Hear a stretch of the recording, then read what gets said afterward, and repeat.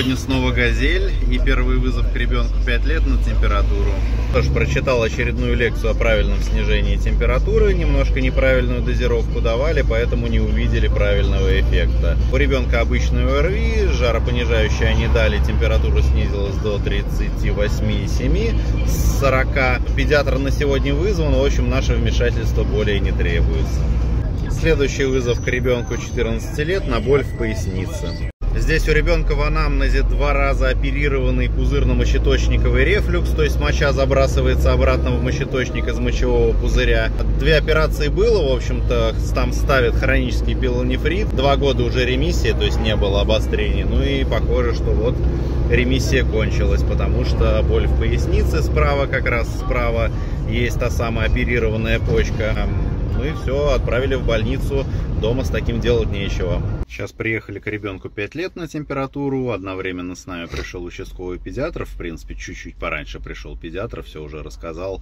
Но, в общем, особо говорить нечем. Здесь у ребенка ОРВИ, температура снизилась к нашему приходу, жаропонижающее не дали. Тут был вопрос, это состояние после вакцинации или все-таки ОРВИ? Нет, ОРВИ. И следующий наш вызов к ребенку 2 года, основа на температуру. А здесь ветрянка у ребенка началась. Как раз очень характерное высыпание в виде пузыря пузырьков уже появились. Ну и, соответственно, вот она причина температуры. А жаропонижающую они дали в адекватной дозировке, температура благополучно снизилась.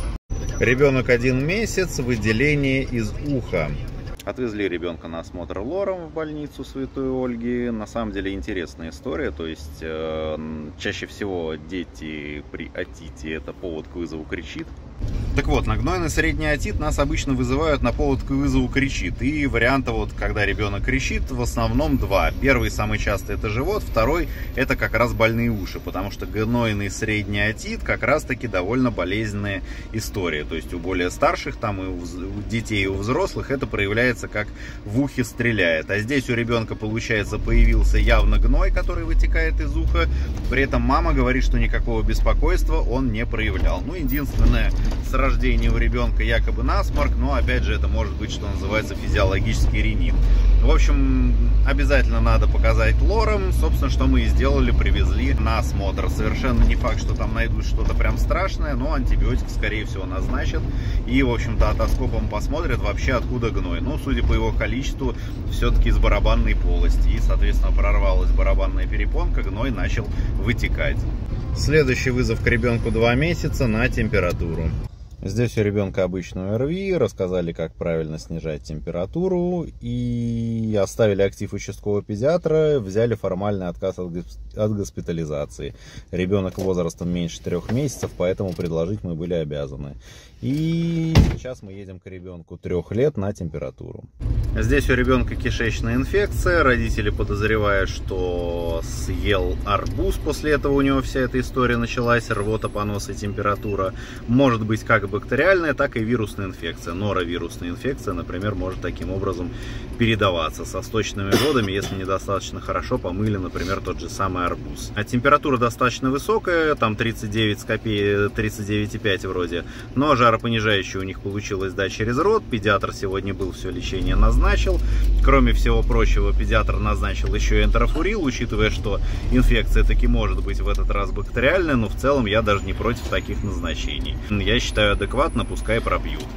Все рассказал, как им быть. Будем надеяться, что у них получится справиться без госпитализации. Следующий вызов к ребенку 7 лет, лечится дома от отека квинки, ну и похоже стало хуже, потому что был отек век, сейчас начали отекать губы.